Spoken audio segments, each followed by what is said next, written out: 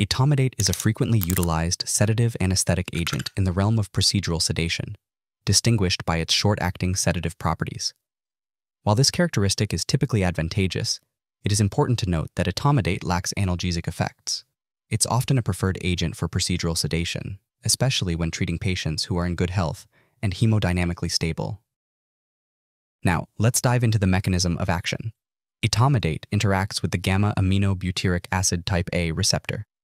It boosts the effects of the inhibitory GABA neurotransmitter, which leads to central nervous system depression.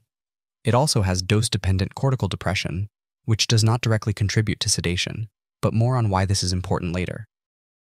As for dosing, we start with an initial dose of 0.1 to 0.2 milligrams per kilogram. If needed, we can follow this up with a repeat dose of 0.05 milligrams per kilogram every 3 to 5 minutes. Keep in mind, however, that in older adults or patients with impaired kidney or liver function, it's best to stick to the lower end of the dosing range. Moving on to pharmacology, etomidate works fast and doesn't overstay its welcome. It takes a swift 5 to 15 seconds for onset, and its duration of action spans between 5 to 15 minutes. It's like a professional sprinter, quick to start and quick to finish its race. Finally, let's talk about adverse effects. Like any medication, etomidate carries a few potential side effects.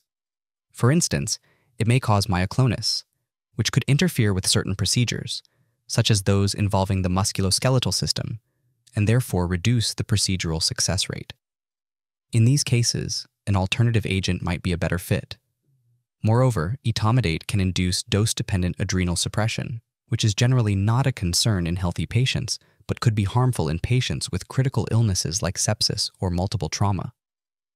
Other potential side effects include respiratory depression, injection site pain, and nausea or vomiting. So there you have it, a snapshot of etomidate, its mechanism of action, dosing guidelines, pharmacology, and potential adverse effects.